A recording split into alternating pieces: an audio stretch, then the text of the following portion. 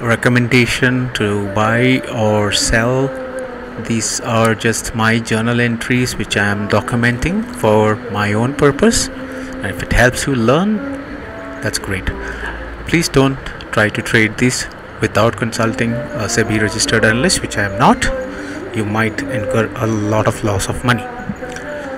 So the first stock that I'm looking at it for today, and this uh, is Zydus Wellness. I do have a position in Zydus Wellness which I've created a few days back, and it's kind of stuck in a narrow range over it. And uh, now I think I'm expecting a good move in this stock uh, today or tomorrow. Let's see if it happens today. It would be a good trade to take. So this is uh, my stock number one for the day is Zydus who is uh, Arvind. So Arvind had a very decent run up, followed by a nice little,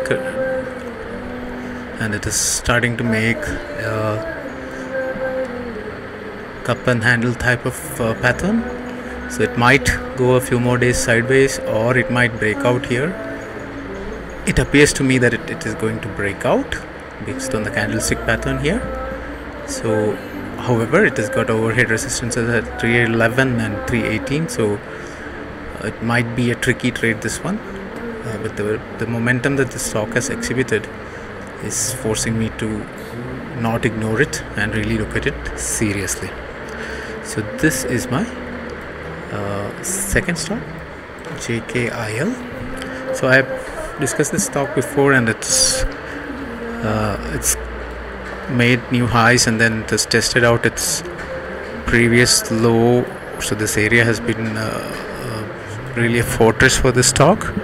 So it is again making a beautiful uh, pattern over here and it can easily I'm expecting around 665 698 on this.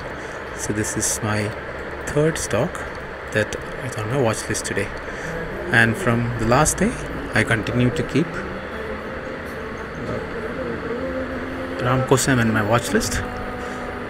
Uh, that was the only stock which didn't move on Wednesday. So let's see what happens to that. So that's it.